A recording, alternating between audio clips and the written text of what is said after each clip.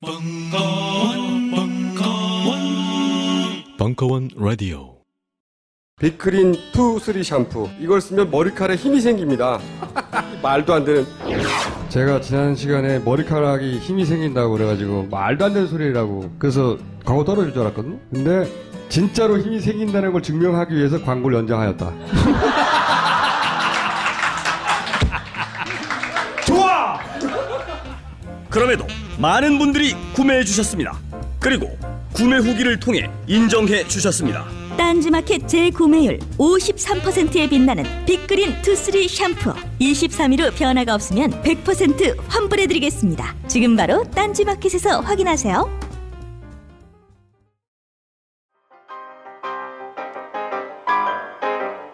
벙커원 릴레이 특강. 늙음 제1탄 철학 교수 박구용의 늙어가는 존재의 미학 2016년 5월 16일 강연 일부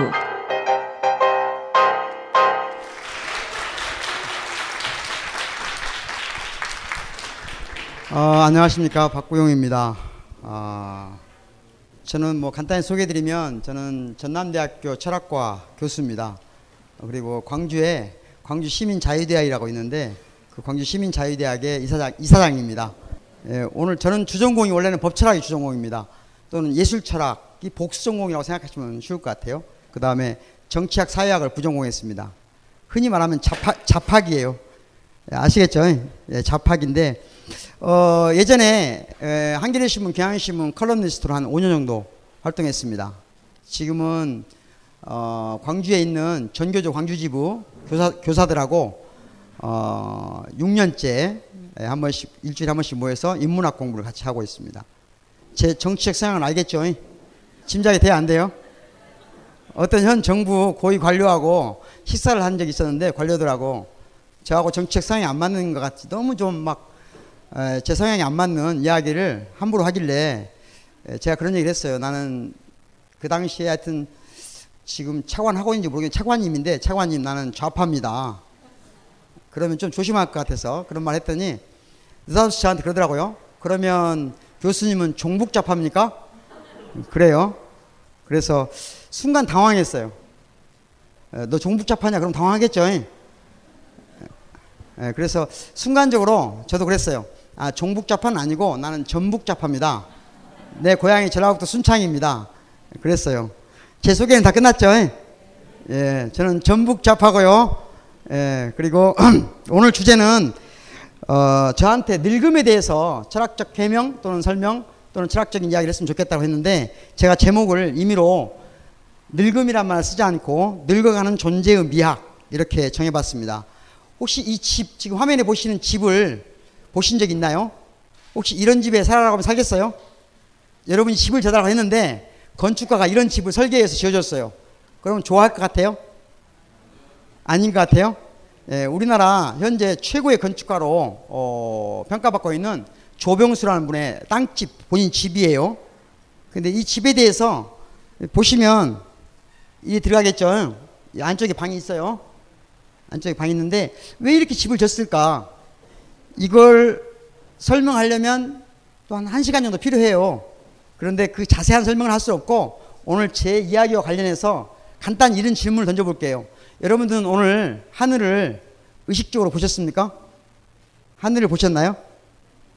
하늘을 봤겠죠. 그죠? 봤는데 의식적으로 봤냐는 거예요. 무의식적으로 볼 수는 있겠죠. 그러니까 오늘 무의식적으로 하늘을 본 사람 다 봐요. 근데 의식, 무의식은 좋고 나쁘고 예쁘고 안 예쁘고 또는 이런 반성을 하지 않거든요.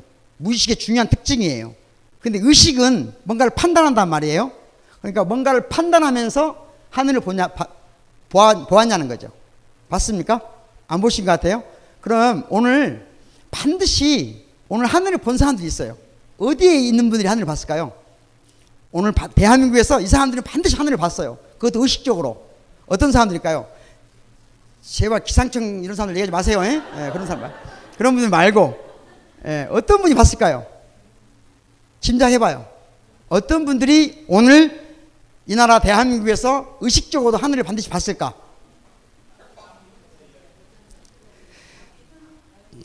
이렇게 나이가 5세가 넘으면 옹알이를 안 해야 돼요. 정확하게 말씀하셔야지. 예, 예. 자, 뭐라고요? 누가 봤을까요? 여러 사람이 봤겠지만 제 경험에 비춰보면 감옥에 있는 사람들은 반드시 오늘 하늘을 봅니다. 왜 그럴까요? 그렇게밖에 바깥이 볼수 없기 때문에. 이해돼요? 아, 감옥을 안 가보셨구나. 감옥을 안 가봤어요? 에, 감옥에 가보셔요. 그러면 반드시 매일 하늘을 보게 돼 있습니다. 에, 그런데 이 집을 잘 보면 아침에 일어나서 아침에 일어나서 마당으로 나오면 반드시 자기가 원하든 원하지 않든 의식적으로 하늘을 볼 수 있게 된다는 거죠. 이해됩니까? 그러니까 폐쇄된 공간, 닫힌 공간, 닫힌 사람들은 하늘을 본다. 근데 예전에 보면 이런 말 있잖아요. 우물 안에 개구리라고 그런 말 있죠. 그러니까 어찌 보면 오늘 제가 할 수 있는 하, 하려고 하는 얘기는 이 늙어가는 존재에 대해서 무슨 얘기를 하냐? 갇힌 사람의 틀릴 수 있는 이야기. 저는 기본적으로 오늘 제가 하는 대부분의 이야기는 틀릴 수 있는 가능성이 있는 이야기입니다. 저는 틀릴 수 없는 이야기는 안 합니다. 왜냐하면 그 틀릴 수 없는 이야기는 무의미하기 때문이에요. 사람들은 다 틀릴 수 없는 얘기를 하고 싶어 하는데 사실은 틀릴 수 없는 이야기는 무의미하다고 생각합니다. 그래서 오늘 제가 하는 얘기는 어찌 보면 저처럼 저기 오늘 제가 여기 오기 전에 친구를 만났는데 예, 숭실대학교 교수 친구예요. 근데 이 친구가 그래요. 전남대학에 있으면 전남대학에 있으면 시간이 멈춰져서 가, 세상의 흐름으로부터 갇힌 상태 할수 있다. 근데 서울에서는 안 된다 그러더라고요. 근데 저는 어찌 보면 갇힌 세계에서 틀린 것을 말하는 사람일 수 있다는 가정하에서 오늘 이야기를 시작하겠습니다. 이해하셨죠? 제가 늙음이라고 말하지 않고 늙어가는 존재의 미학이라고 그랬어요. 그럼 미학이 뭘까? 근데 이렇게 표정이 삼엄해요, 뭔가. 미학이라는 말씀 들어보셨죠? 그럼 미학이 뭐죠? 아, 그 아름다움에 관한 학문이에요? 예, 그래도 많이 고맙습니다. 어떤 학생들은 이런 말 하더라고요. 음식 맛보는 건 줄 알아요. 미학 그러면. 그런데 제가 이게 좀 지겨운 얘기겠지만 간단하게 설명드릴게요. 미학이라는 것은 원래 이런 말인데 미학이라고 하는 것은 한마디로 말하면 세 가지 층위가 있어요. 세 가지 층위가 있는데 첫 번째는 뭐냐? 우리는 대체로 판단을 이성적으로 하죠. 그렇죠? 이성적으로 판단한 것을 합리적이라고 생각하죠. 그렇죠? 그런데 이성이 아니라 감성, 감정은 비합리적이라고 생각하는 경향이 강하죠. 그래서 우리는 함께 뭔가를 하려고 하면 합리적이고 그래서 이성적인 것을 우선시해요. 그렇죠? 그것에 대한 반발, 즉 이성 중심주의에 대한 반발로 감성, 감정, 감동 이런 층위를 복권시키려고 하는 데서부터 미학이 시작됐어요. 이해되시죠? 그러니까 우리의 감정 속에도 예를 들면 이런 거죠. 어떤 사람이 화를 내요. 화를 내면 우리는 그 사람을 비합리적이라고 말하죠. 화내서 일이 성사되는 경우가 드물잖아요. 에? 그러니까 비합리적이라고 생각해요. 하지만 미학적 관점에서 보면 그렇지가 않은 거예요. 화를 내는 것 자체가 어떤 측면에서 보면 다른 사람들이 보기에 비합리적으로 보일 수 있지만 다른 측면에서 보면 굉장히 합리적인 행동일 수 있는 거예요. 그러니까 그렇게 쉽게 폄하할 문제가 아니란 말이죠. 정서적이고 강박적인 행위를 너무 쉽게 이성 중심으로 판단하지 않으려고 하는 모든 행위가 미학이라고 말할 수 있습니다. 두 번째는 여러분들은 우리나라에서 가장 아름다운 남자 그럼 누구예요? 여자분들이 많으니까 내가 생각 가장 아름다운 남자가 누구예요? 누구요? 송중기? 에, 지, 지금 예 송중 송중기가 아름다워요? 외모는 내면은 모르지만 에, 그렇군요. 여기 젊, 좀 젊은 분 어떻게 생각하세요? 같은 생각이에요? 아니 같은 나이예요? 에, 그러니까 송중기 뭔가 동의하기 어려운데 저는 저 소지섭을 소지섭인가? 소지섭이란 탤런트 있죠? 저는 그런 사람이 멋있던데. 에, 좋습니다. 그러면 이런 거죠. 자 누군가 송중기가 아름답다 그래요. 멋지다 그래요. 모든 사람들이. 그런데 한 분이 여기 계신 분 인상을 보니까 송중기 별로 안 좋아하시죠? 송중기가 누군지 몰라요? 예. 자, 다 송중기가 멋지다 하는데 어떤 한 사람이 나는 송중기가 안 예쁘다 그래. 안 멋지다 그래요. 그럼 그 사람을 설득할 수 있나요, 없나요? 우리는 설득할 수 있어 없어요? 제가 남자니까 여자 얘기 해 볼게요. 천진이가 예쁜 것 같아. 다 모든 남자들이 예쁘다 그래요. 근데 한 남자가 난 아니라 그래. 그 남자 설득할 수 있나요? 설득할 수 있어 없어요. 그러면 우리가 아름다움에 관한 판단, 아름다움에 대해서 누구는 예쁘다 보인가요? 보여요 안 보여요? 이 판단이 나한테 아름답다고 생각하는 판단이 다른 모든 사람에게도 아름답다라고 주장할 수 있나요? 없다고 생각한단 말이에요. 그래서 이런 것은 그냥 취향이라고 해요. 취향. 취향이다. 또는 취미다. 이렇게 말하죠. 취향, 취미 판단은 논하지 마라. 다시 말하면 보편 타당성을 요구하지 마라. 이게 오랫동안에 사람들의 합의사항이에요. 그런데 이게 중요한 문제가 있어요. 나에게는 맞는데 너희에게는 맞지 않아. 심지어 내가 너를 설득할 수도 없어. 이런 것은 학문의 이름으로 배우거나 가르치거나 연구하지 않습니다. 그러니까 아름다움은 그냥 취향, 취미 문제라고 생각하는 순간 더 이상 뭐가 안 돼요? 학문의 대상이 안 되는 거예요. 그래서 오랫동안 아름다움에 관한 학문은 없었어요. 이해되시죠? 여기까지? 그런데 칸트란 철학자가 아니 할 수 있다고 말하는 거예요. 아름다움에 관한 판단도 보편 타당성을 요구할 수 있다. 단 이런 이런 이런 이런 이런 조건을 충족시키면 이걸 제대로 이런 이런 조건이 뭔지를 알려면 오랜 시간이 필요하겠죠. 그렇죠? 네, 그런 의미에서 두 번째 비약은 아름다움에 관한 학문이다. 이렇게 말할 수 있는 겁니다. 세 번째는 뭐냐면 그냥 아주 쉬운 말로 하면 예술에 관한 철학을 미학이라고 합니다. 여기까지 이해되시죠? 근데 제가 오늘 하려고 하는 미학은 무슨 미학이냐면 이 세 가지 층위보다는 새로운 층위예요. 현대 미학에서 미학은 자 혹시 집에 예술품 하나씩 갖고 계세요? 집에 뭐 그림이나 이런 거 있어 없어요? 아 집에 집에 없어요? 아니 사람도 정신이 있어야 되면 집에도 정신이 있어야 되잖아요. 사람이 정신이 있는 하려면 어디 보면 알아요? 제가 보니까 한 두 군데는 정신이 나간 것 같은데 정신 있는지 없는지 알면 어디로 보면 알아요? 눈을 보면 알죠? 눈을 보면 정신 있나 없는 거 알아요. 우리 정신이란 게 뭐냐면 이러면 하죠. 넉 빠진 사람 이러면 하죠. 얼 빠진 사람. 넉, 얼, 혼, 백을 합쳐 정신이라고 그래요. 뭐라고요? 넉, 얼, 혼, 백. 너 혼난다 이러면 하죠.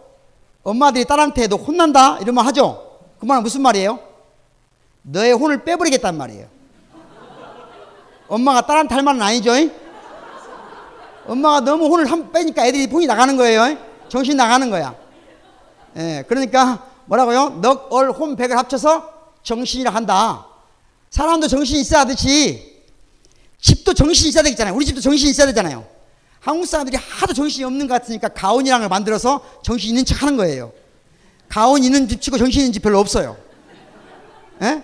정신이라는 게 있으려면 집에 혹시 우리 집에 정신이 있는가 없는가 제가 판단해 볼게요. 여러분 집, 집값 알죠? 그 집값이 계산해 놓고 그 다음부터 뭘 계산하냐면 우리 집에 있는 책값을 계산해 보는 거예요. 저 교재로 산 거 빼놓고요. 교재로 산 거 대학 다닐 때 또는 친구들 교재 산 거 빼놓고 학생들이 막 전지를 10권씩 사준 거 빼놓고 가족 구성원들이 한 권 한 권 사서 읽은 책 한 권당 3, 평균 3만 원 계산해 봐요. 얼마인가? 계산돼요? 아니면 계산할 게 없어요. 에, 그리고 집에 미술품이 있으면 미술품 값까지 더해보는 거예요. 하여튼 집에 관련된 모든 예술품 값다 더해봐요. 정 안 되면 CD 값에 더해봐요. 그래서 그 값이 집값에 1%가 안, 안 되면 그 집에 정신이 있을 수 없겠죠. 표정들이 안 좋은 거 보니까 집에 다 정신이 없나 보네. 예. 자, 그런데 이 예술품을 예술품도 교환하는 거잖아요. 값이 있잖아요. 그죠? 여기 보시는 예술품은 실제 그림 크기가 이보다 조금 작아요. 얼마 정도 주면 될까요? 예, 뭐, 알 길이 없죠. 제가 제 월급에 석 달치를 털어 샀어요. 산 그림이야. 이 그림이 얼마나 훌륭한 그림인지 설명하고 싶지만 시간이 없으니까. 아무튼 예술도 교환되는데 우리는 이것도 교환되죠. 얼마짜리인지 알죠, 되게. 뭐 돈 천 원 정도 하겠지. 천 원의 교환 가치를 가져요. 그런데 예술품도 똑같이 교환되는데 예술품은 뭐 때문에 교환되느냐? 교환될 수 없는 것 때문에 교환되는 거예요.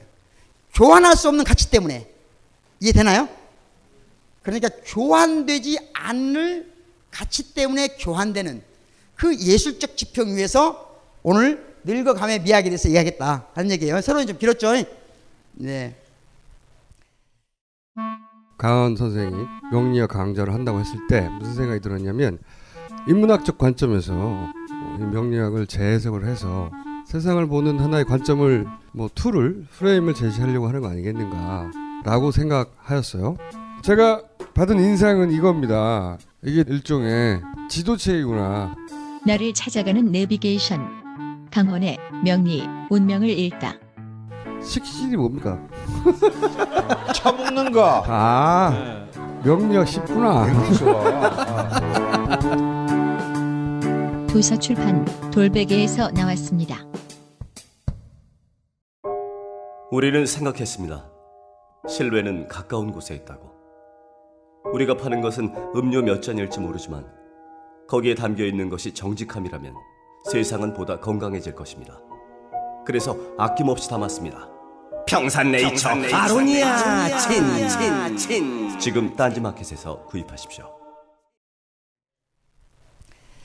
자, 우리가 역사를 쭉 보면, 에, 역사를 쭉 보면 항상 많이 하는 얘기가 지배와 피지배의 문제, 또 이것이 오늘날은 남자와 여자의 문제로 많이 이야기돼요. 그럴 때 많이 등장하는 그림이에요. 다 아실 거예요, 대부분. 누구 그림이죠? 밑에 써져 있죠? 까라바조의 그림이고, 에, 홀로페르네스를 죽이고 있는 누구예요? 유디트의 그림이죠. 보신 그림이죠? 근데 이 그림하고 꼭 함께 나오는 그림이 누구냐면 만약에 이 그림만 보여주면 이 사람 이 그림까지 보여주면 그분은 틀림없이 오늘 여성주의로 설명하고 오신 분이에요. 그러겠죠? 똑같은 얘기야. 젠틀리스키라는 여성 화가가 그린 그림이잖아요. 주제가 똑같아요. 뭔 차이가 있어요? 이 그림하고 자, 이 그림하고 어떤 차이가 가장 큽니까? 일단 죽어가는 놈이 에, 이놈이나 이놈이나 이놈이 좀 더 불쌍해 보이죠? 좀 애절해 보이잖아. 그죠? 근데 이건 별로 중요하게 부각이 안 돼요. 핵심은 이 여인의 아름다움과 이 여인은 뭔가 무섭죠? 그죠? 그러니까 남성주의가 남자들이 즉 우리로 말하면 농계 같은 여자예요 지금 적장을 유디트가 누구냐면 적장을 지금 꼬여가지고 살해하는 거예요. 적장을 살해하는 이런 유디트가 이렇게 예쁠 수가 있을까요? 사람 죽이면서 이렇게 예쁠 수가 있어요? 이렇게 예쁜 표정을 할 수가 있어? 에, 이건 남자가 본 남자가 꿈꾸는 세상이라는 거죠. 여러분들 드라마 같은 거 보면 금방 작가가 남자인지 알 수 있죠. 우리나라 지금 대부분의 드라마들은 여자가 작가라는 얘기예요. 에? 왜? 에, 주로 여성분들이 드라마를 좋아하는데 드라마를 왜 좋아해요?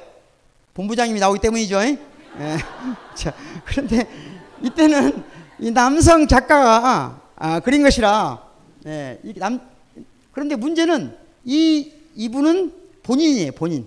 얘기도 긴데 다 아실 거라고 생각하고 젠틀리스키라는 사람이 자기 이, 아빠의 친구 이제 화가한테 에, 어렸을 때 강간을 당해요. 그래서 이제 이걸 강간하는 사람을 자기가 죽이는 것처럼 형상화해서 만든 거예요. 그래서 여성주의를 대표하는 작가 또 여성주의를 설명할 때 많이 나오는 거잖아요. 여기까지예요. 우리가 오늘 주목하려고 하는 것은 이 두 사람의 관계가 아니라 바로 이분이에요. 이분은 누구예요? 사실은 어, 늙음, 노인, 나이듦을 얘기할 때 에, 남자의 문제가 다르고 여자의 문제가 달라요. 권력자하고 피권력자가 다르고 돈이 있는 사람과 없는 사람이 다르단 말이죠. 그냥 나이 먹으면 다 이런 말 있죠. 70 넘으면 있는 놈이나 없는 놈이나 배운 놈이나 안 배운 놈이나 계집이나 남자나 똑같다더라. 안 똑같아요. 똑같다고 생각하는 게 환상이에요. 다르단 말이에요. 그런데 특별히 오랫동안 오랫동안 나이 들에 대한 오랜 전통 속의 문헌 속에 보면 첫째 늙음은 권력의 문제예요. 왜냐하면 옛날 문헌에는 권력 없는 사람들은 늙음으로 나타나질 않아요. 아예 주제 대상이 안 돼요. 또 특별히 옛날부터 여자가 오래 살았겠어요? 남자가 오래 살았겠어요? 옛날에도 여자가 오래 살았어요. 지금도 여자가 오래 살지만 옛날부터 여자가 오래 살았어요. 그러면 나이 든 사람은 여자가 더 많아야 되잖아요. 그런데 여자는 등장하지 않습니다.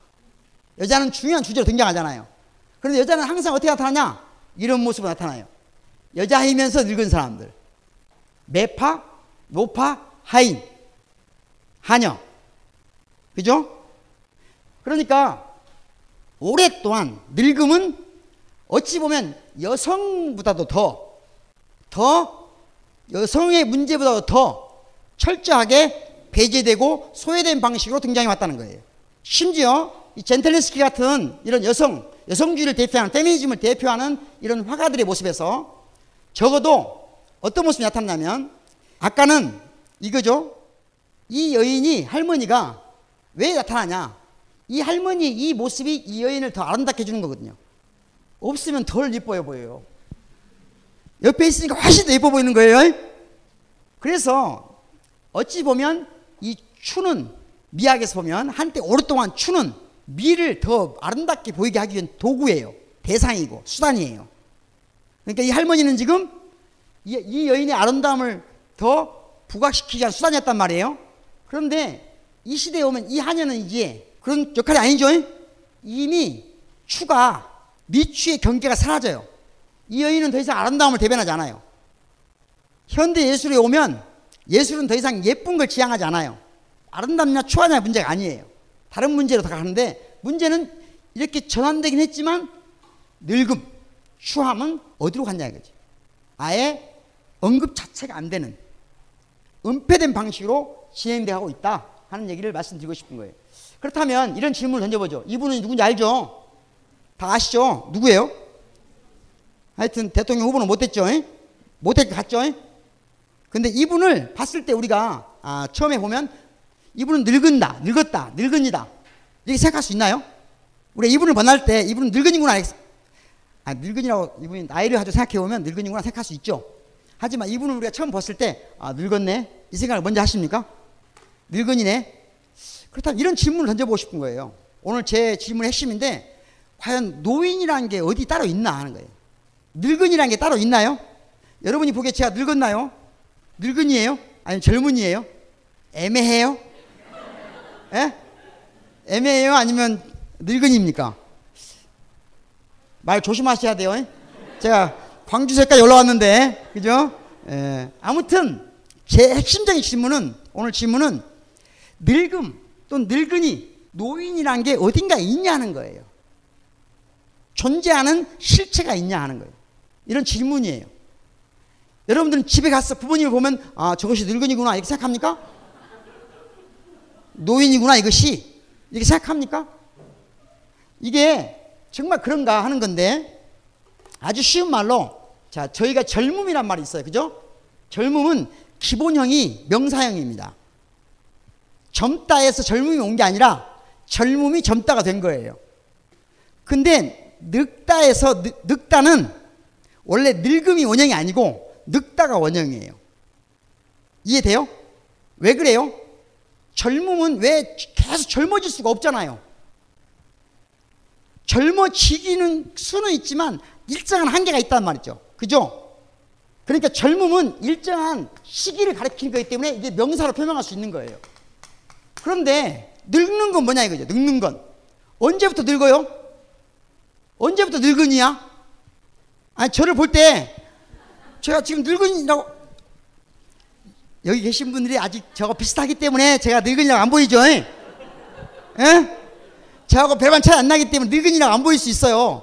하지만 가끔가다 친구들이 보면 그래요 저한테 너는 왜 그대로냐? 너는 왜 고, 너는 왜 대학교 다닐 때나 고등학교 다닐 때나 그대로냐 그래요. 심지어 어떤 친구들은 너는 고등학교 때부터 나은 것 같다야 이렇게 말하는 친구도 있어요. 근데 그것은 뭐냐면 걔들이 나하고 나이가 비슷하기 때문에 그런 거예요. 대학생들이 보면 제가 늙은이야. 확실히 그래요. 편지가 안 오는 거 보니까 제 연구실에 오는 여학생이 들어둔 거 보면 확실히 내가 늙은이구나. 그런데 언제부터냐는 거지. 언제부터. 사실은 늙다는 것은 쭉 늙어가는 것이지 어느 시점에서 어느 시점까지를 늙음이라고 말할 수 없다는 거죠. 언어에 언어가 실제로 만들어진 것도 늙음이란 말이 먼저 만들어지지 않았다는 거예요. 늙다라는 동사가 원형이고 늙음이 명사형으로 전환된 거예요. 파생된 거예요. 파생어예요, 그러니까. 이해돼요? 그러니까 우리 젊음을 얘기할 때하고 젊음을 얘기할 때하고 늙음을, 늙음을 얘기할 때 똑같은 층에서 말하면 안 된다는 거죠. 이런 건 되게 많은데, 이런 경우는 굉장히 많은데요. 아주 쉬운 말을 하면, 자, 우리가 여러분들 집이 있죠? 집이 있죠? 집이란 말은 원래 명사잖아요. 그죠? 이게 원형이 뭘까요? 집이 원형이었을까요? 아니에요. 짓다가 원형이에요. 그러니까 이따 좀 있어 기회 되면 설명하지만 짓는 것이 집이에요.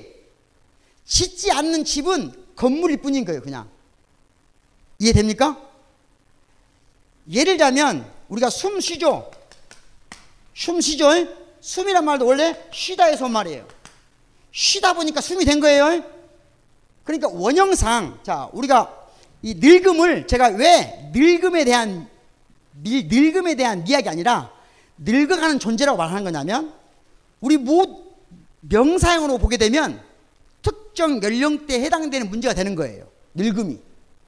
그런데 동사형으로 보게 되면 우리 모두의 문제인 거예요.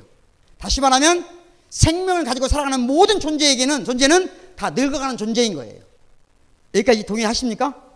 그러니까 문제의 층위를 늙음이라는 특정 연령대에 있는 사람의 문제를 볼 것이냐 아니면 모든 존재, 생명을 가지고 있는 모든 존재의 문제를 볼 것이냐 하는 거죠. 그렇다고 한다면 늙어가는 것 사실 우리가 시간 속에서 보면 저희는 예를 들면 저희들하고 벌써 저하고 30분 가까이 같이 살고 있잖아요. 이 말은 다른 하면 뭐예요? 같이 죽은 거예요, 우리가. 그죠? 이 삶도 명사형으로 보니까 그렇지 살아가는 과정이 곧 죽어가는 과정이에요. 즉 살아가는 과정, 죽어가는 과정, 늙어가는 과정이 동시에 이루어진단 말이에요. 삶의 끝에 죽음이 있는 게 아니고 젊음의 끝에 늙음이 있는 게 아니고 살아가는 과정, 죽어가는 과정, 늙어가는 과정이 똑같다. 동시에 이루어진다. 동근원적이다. 라고 하는 그런 이해가 있어야 우리가 오늘날 이데올로기적으로 잘못 장착된 잘못 퍼져 있는 늙음에 대한 이데올로기와 격돌할 수 있다. 비판할 수 있다. 이런 관점이 제가 오늘 하려고 하는 이야기의 핵심입니다. 이해되시죠? 좀 더 가볼까요? 예. 안녕하세요. 컴스테이션 대표 이경식입니다. 컴퓨터라고는 전원 버튼밖에 모르는 딴지스가 있다면 저희 컴스테이션으로 오셨으면 좋겠습니다. 오지랖 넓은 옆집 아저씨처럼 친절하고 상냥하게 컴맹으로서의 탈출을 도와드리겠습니다. 해치거나 물지 않습니다. 간단한 문의번호 011-892-5568로 연락 주시면 컴맹 탈출 작전 성공 딴지 마켓에 컴스테이션이 있습니다. 컴스테이션은 조용한 형제들과 함께합니다. 어디서 많이 본 사진 같지 않아요? 서울에 있는 건데. 우리나라 건축 역사에서는 그래도 가장 중요한 공간 중에 하나예요. 현대 건축. 현대 건축의 아버지라고 하는 사람은 르크로비지라는 사람이 있는데 그 사람 대를 이어서 일본을 통해서 온 김수근이라는 분이 있어요. 화가는 박수근이 있지만 건축에는 김수근 씨가 있고 그 김수근 씨가 만든 회사예요. 건축. 유명한 공간이죠. 그런데 잘 보시면 자, 이 집은 이 집은 이게 단순한 건물이 아니란 말이에요. 건축이에요. 건물이 아니라. 왜냐하면 이 집을 잘 보시면 처음에 그냥 건축가가 설계해서 진 집으로 끝나는 게 아니라 계속 계속 뭐예요? 지어지고 있는 집인 거예요. 하나의 공간 속에 공간 속에 확정되어 있는 것처럼 보이지만 공간이 계속 시간화되고 있는 거죠. 이해되죠? 사람들은 멋진 집을 갖고 싶어 해요. 근데 집을 짓고 싶진 않아. 멋진 집을 사고 싶어 하지.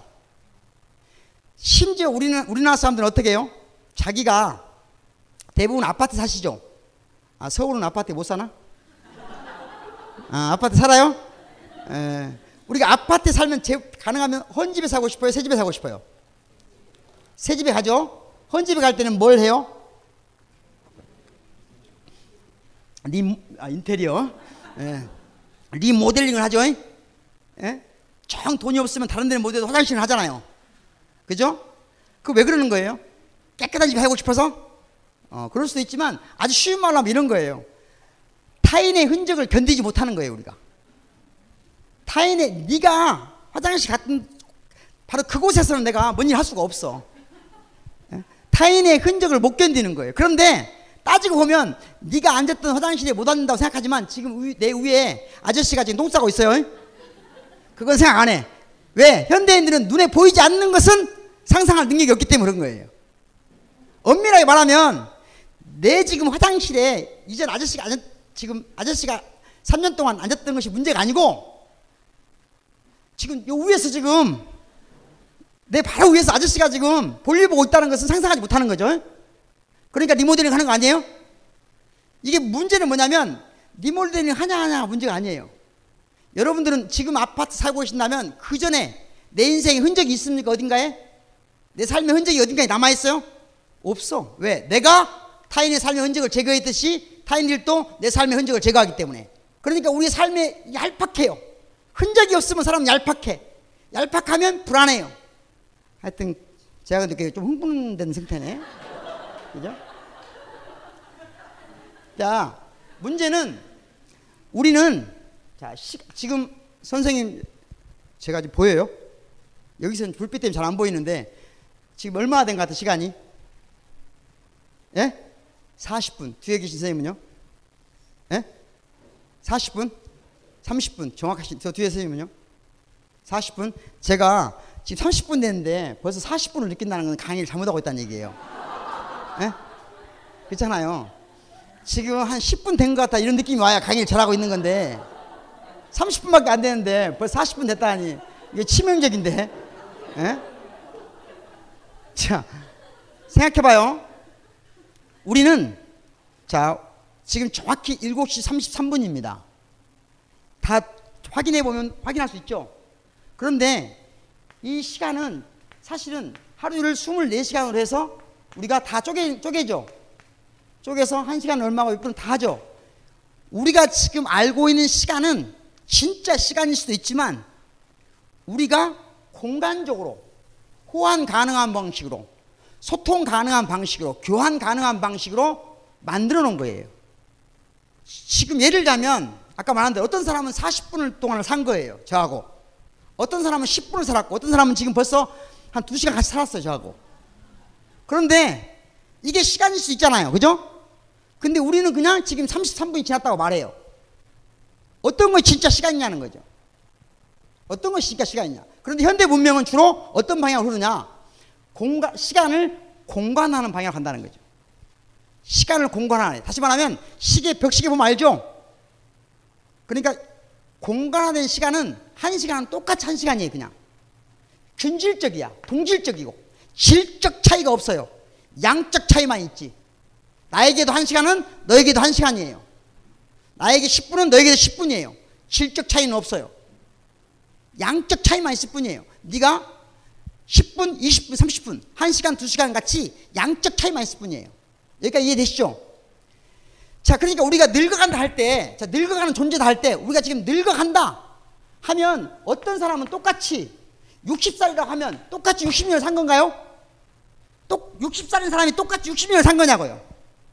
아니면 어떤 사람은 지금 60년, 즉, 즉 공간화된 시간으로 보면 똑같이 60살이지만 공간화되지 않은 시간을 보면 어떤 사람은 100년을 살 수 있고 어떤 사람은 30년을 살수 있는 거죠. 이해되죠? 그렇다면 그렇다면 우리가 동질적이고 반복적이면서 균질적인 이걸 하, 마친 하이데거라는 사람은 시계 시간이라고 그래요. 시계 시간. 자기만의 질적 차, 질적으로 차별화된 삶을 추구하지 못하는 모든 대중들 그래서 대중 시간, 대중들의 시간, 시계 시간. 오늘날 말하면 양적으로 균질화된 시간. 이런 시간만을 가지고 세상을 살아갈 것이냐, 아니면 조금 다른 관점에서 세상을 볼 것이냐 하는 문제예요. 그래서 저는 늙어감의 문제는 늙어가는 존재의 미학은 두 가지 관점에 동시에 봐야 된다. 네. 그래서 말씀드린 것처럼 아 이분은 보니까 어때요? 상태가 좋아 보여 안 좋아 보여요? 상태가 좀 안 좋아 보이죠? 제목은 아빠의 청춘이라는 우리나라 아마 제가 보기에는 우리 대한민국 조각의 역사에서는 정말 대단한 천재 조각가예요. 구본주라는 사람인데 아쉽게도 예, 교통사고로 일찍 돌아가셨어요. 지금은 세상에 안 계신 분입니다. 근데 이분이 이제 나무로 제가 이, 이, 이 작품에 대해서 평론을 한 적이 있어요. 평론을 한 적이 있는데 아무튼 대단한 작품이라고 생각해요. 저는 개인적으로. 문제는 하여튼 뭔가 좀 슬프죠? 안 그래요? 에, 늙어간다는 것을 시간을 균질화된 공간화된 시간이 아니고 다른 시간의 입장에서 보면 특히 늙음을 명사가 아니라 동사로 본다면 이 세상 살아가는 모든 존재, 이 세계에 던져진 모든 존재에게는 늙어가는 문제가 늙어가는 것이 우리 모두의 문제다 하는 것을 보여주고 싶어서 보여드린 겁니다.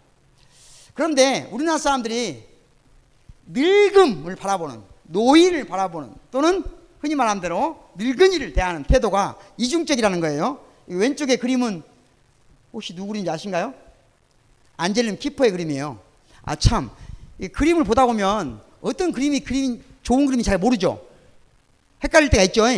그 제가 이, 그 어떤 그림을 평가하는 아주 쉬운 몇 가지 방법이 있거든요. 그 중에 가장 쉬운 게 있어요.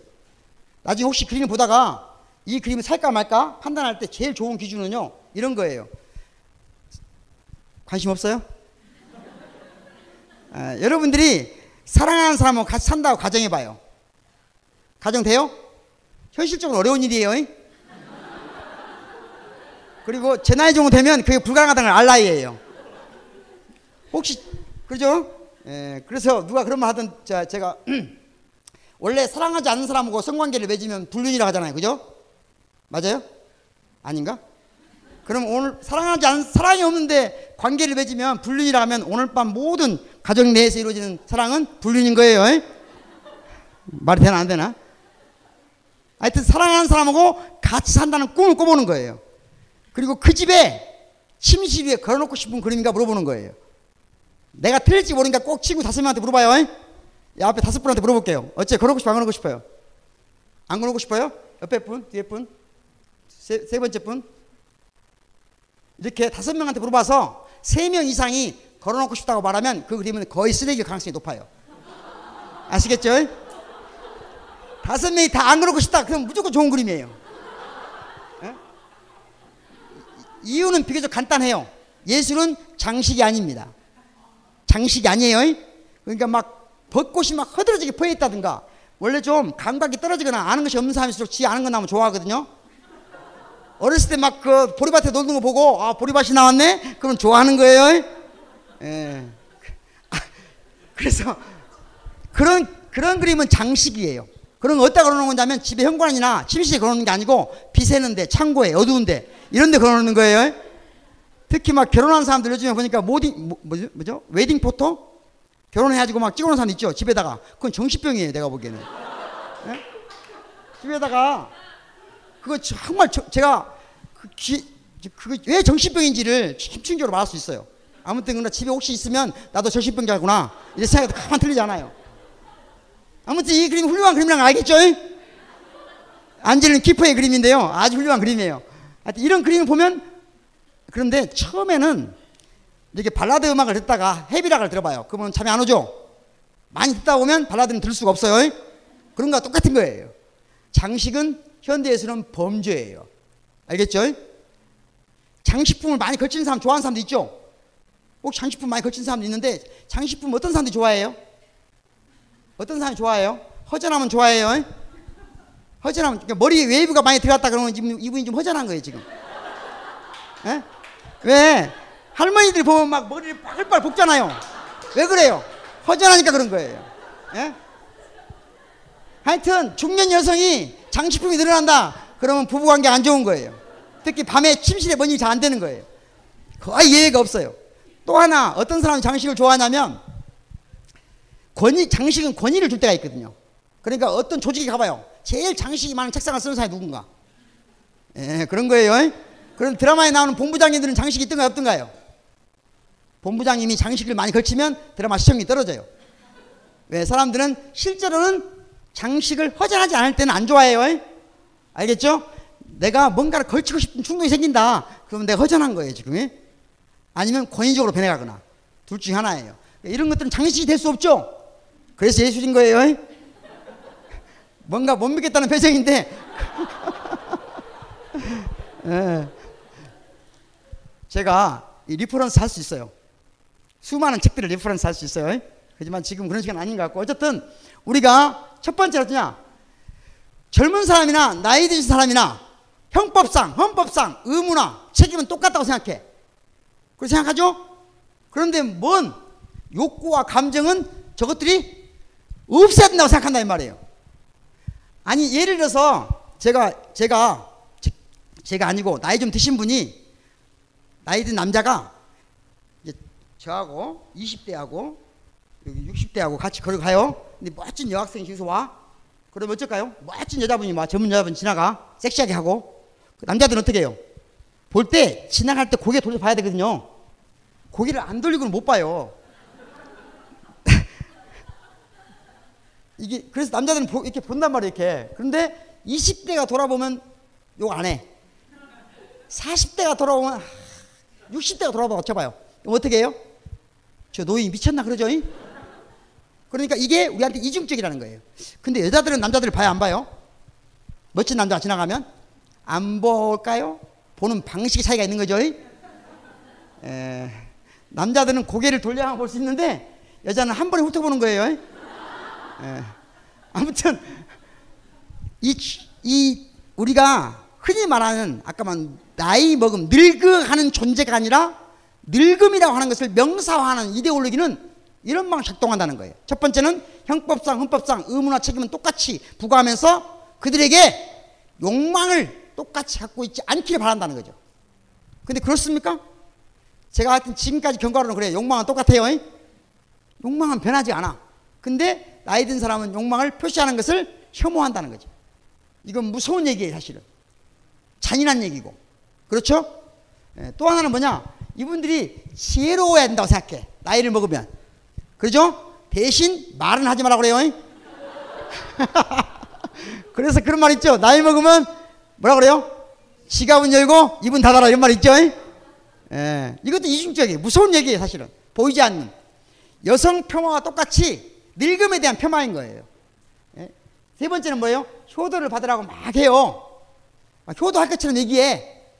그래 놓고 성년이 된 이 아들은 아버지한테 기회가 있을 때마다 너는 이제 늙었어. 너는 좀 너는 좀 늙었어. 이걸 깨닫게 하려고 온갖 노력을 다 해요. 딸들도 마찬가지죠. 엄마한테 예, 이런 방식으로 이중적이라는 거지. 예? 그래서 예를 들자면 노인을 이해한다고 하면서 노인을 배제시키는 거예요. 형제들끼리 모여서 엄마 아빠 못 알아듣게 저 어깨 너머로 저희들끼리 얘기하죠. 눈짓 하면서 안 해봤어요? 예, 아무튼 이런 방식으로 우리가 돈벌이를 못한다고 무능하다고 유폐시키면서 이들을 상대로 한 각종 산업이 늘어나고 있다는 거예요. 그러니까 상품이 될 수 없는 존재라고 해서 폄하하고 유폐하고 감금시키면서 그들을 대상으로 한 상품화는 날로 커져가고 있다. 이게 늙음의 이데올로기라는 거예요. 늙음의 이데올로기. 이런 방식으로 우리 사회가 지금 늙음을 유폐하고 관철시키는데 문제는 이 세대 간 연령주의가 우리 사회에 강하게 있고 이게 아주 심각한 문제라는 거죠. 다시 말하면 왜 우리가 늙음을 뭐 옛날에 늙은 사람을 존경했냐 안 했냐 이런 얘기들은 옛날 사람들이 지금보다 나이 먹은 사람들을 존경했냐 안 했냐 하는 것은 그랬다고도 할 수 있는 예도 충분히 많고 그렇지 않다고 하는 예도 충분히 많아요. 이해하셨죠? 그런데 중요한 것은 뭐냐? 확실한 건 뭐냐? 우리나라의 경우 동양에서는 확실히 나이 드신 분들이 존경받는 문화였어요. 다른 문화에 비해서. 그 이유가 여러 가지 있어요.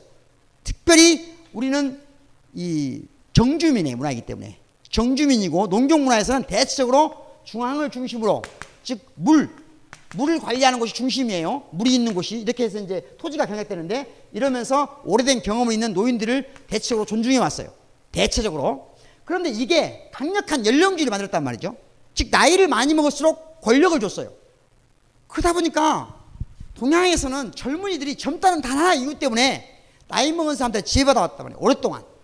그래서 오늘날은 동양 사회가 다른 어떤 사회보다도 늙은 사람들이 안 되고 싶어 해요. 즉 젊은 층이 젊은 층이 늙은 사람한테 복수하는 방법이 뭐냐? 역 연령주의예요. 거꾸로 된 연령주의. 이게 무슨 말이냐면 아주 쉬운 말 해볼게요. 요즘은 젊은이들이 어쩌냐면요. 에, 4, 50대 아저씨가 페이스북을 하니까 이제 페이스북을 안 해요. 아주 쉬운 말로 더 술집으로 얘기해보죠. 옛날에 젊은이들이 노래방을 많이 갔어요. 예를 들자면 근데 아저씨들이 막 노래방을 더 좋아. 그럼 안 가요 이제. 자기들이 다른 걸 만들어. 또, 또 나이 좀 먹어서 막 계속 노래 자고 또 가보면 또 딴 데로 가버려요. 그러니까 이게 무슨 말이냐면 젊은이들은 계속 계속해서 자기들보다 앞선 세대와 자기들을 문화적으로 차별화시켜요. 요즘에 젊은 친구들은 되게 인스타그램이라는 걸 해요. 혹시 인스타그램 하시는 분 손 한번 들어보세요. 상태가 안 좋은. 예? 인스타그램 젊은이들은 거의 너 인스타그램 해요. 근데 왜 하냐? 나이 먹은 사람들은 나이 먹- 자기들 생각하기에 나이 먹은 사람들이 페이스북을 다 해. 그러니까 얘들하고 같이 놀기 싫은 거예요. 그래서 점점 점점 기성세대하고 문화적으로 자기들 차별화된 어떤 장벽을 쌓는단 말이죠. 근데 이게 문제는 뭐냐면 점점 이 장벽이 점점 밑, 섬세해져요. 그러다 보니까 어떤 문제가 생기냐? 초등학교 1학년이 볼 때 5학년은 늙은이에요. 초등학교 5학년이 볼 때 1학년이 볼 때 5학년 늙은이라니까요. 노인이라고 그래요. 자기들끼리. 실제로 이런 일들은 각 분야에서 이루어져요. 스포츠나 연예인 분야에서 많이 이루어지죠. 아, 연예인들도 점점 새로운 아이돌들을 새롭게 장벽을 치니까 어느 순간 20대 초반밖에 안 되는데 원로 20대 중반밖에 안 되는데 원로 소리 듣는단 말이에요. 이게 무슨 말이냐? 점점 9세대가 가졌던 권력, 연령주의에 기반한 권력, 그 권력에 저항하는 방식으로 역으로 연령주의를 하는 건데 거꾸로 거꾸로 문화적으로 연령주의를 하는 거예요. 젊은 세대들이 늙은 세대를 배제시키는 거예요. 근데 그게 섬세화되면 섬세화될수록 문제는 뭐냐? 어릴 때 빨리 늙는다는 거예요. 초등학교 때 벌써 늙음을 경험해버려요. 초등학교 5학년들이 실제로 자기가 늙었다고 생각한다니까요? 이런 얘기 안 들어봤어요? 안 들어봤으면 지금 사태를 너무 모르는 거예요. 그러니까 각 사회 각 분야에서 연령주의에 대한 잘못된 사회비 복수가 우리 모든 사람들을 다 늙음의 이데올로기에 포섭시킨다는 거죠. 그래서 이, 이 대한민국 사는 모든 사람들이 피터팬 컴플렉스에서 벗어나지 못하는 거예요. 모두가 그냥 젊음 상태에 남아서 늙음을 유폐하고 또는 감금하고 그런 방식으로 배제하려고 한다는 거죠. 이해되시죠? 이런 방식의 연령주의를 극복해야 되는데 문제는 뭐냐면 여기 잘 보세요. 이분들. 제가 사진을 찾아봤는데 이화여자 대학교 아동학과에서 부모 존경, 자녀 존중. 교육에서 많이 쓰는 말이에요. 자세히 봐요. 부모는 존경해야 되고 부모 그러니까 자식은 부모를 존경해야 되고 부모는 자식을 존중해야 되나요? 이게 말이 되는 것 같아요? 부모는 자식을 무조건 존중해야 돼요? 아, 존경해야 돼요. 이게 언뜻 보면 그럴듯한 말이에요. 근데 이 안에 무서운 잘못된 이데올로기가 숨어 있어요. 그 이야기는 좀 쉬었다 하면 어떨까요? 에, 맥주나 커피 마시고 10분 뒤에 뵙겠습니다. 수고했습니다. 벙커원, 벙커원, 벙커원 라디오.